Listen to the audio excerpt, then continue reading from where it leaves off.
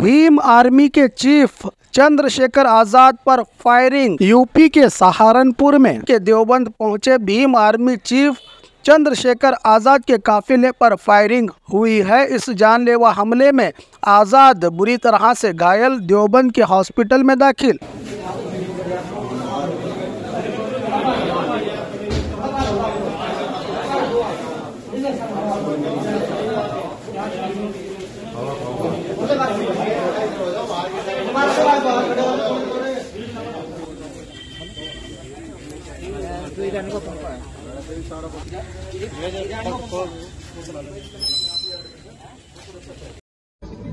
मेरी एक इसको लगी एक इसको लगी गाड़ी ढूंढो कौन